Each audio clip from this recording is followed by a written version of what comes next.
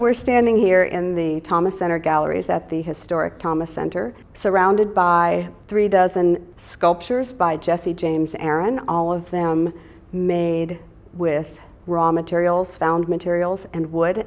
Jesse Aaron is an American citizen of mixed racial heritage. He is part Seminole Indian, part African American. He was born in Lake City, Florida in 1887.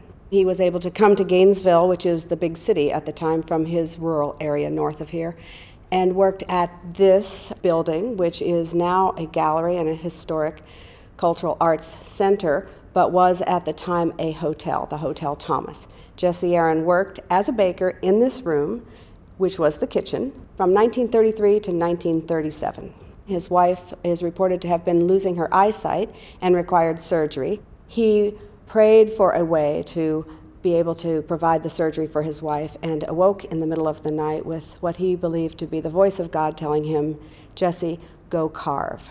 He is said to have gotten up at that very moment and gone to his workshop to begin to make carvings, which ultimately did provide all the money he needed for the surgery for his wife. It would be about 1968 or 69 that he had that first calling to carve, and he spent the rest of his years up until his death in 1979 doing so. He was not a young man, he was 81 years old, and he weighed 130 pounds. His hands, we can see from the photographs, were very arthritic, they're gnarled.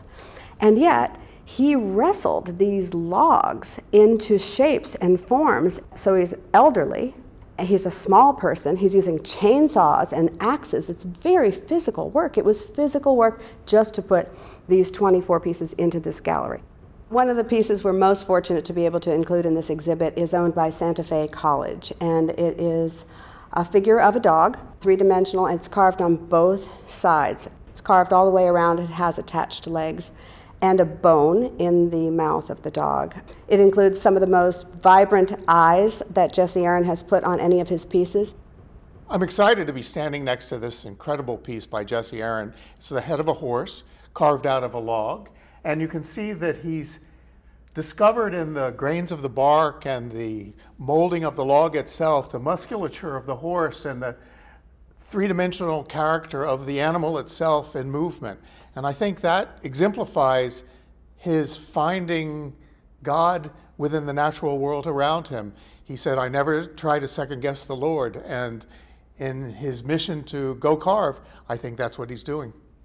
So one of the most important things to me personally as the curator in putting this exhibit into this space is that I would carry the work in here from the first time I brought a Jesse Aaron piece and feel a real emotional experience, a connection, because this is a man who worked in this very space at a time when his life was not defined the way it might be today, or certainly the way our lives are, or the way people who can come to an art gallery might experience this space. He worked here, it was not air conditioned, it was hot, it was the 1930s.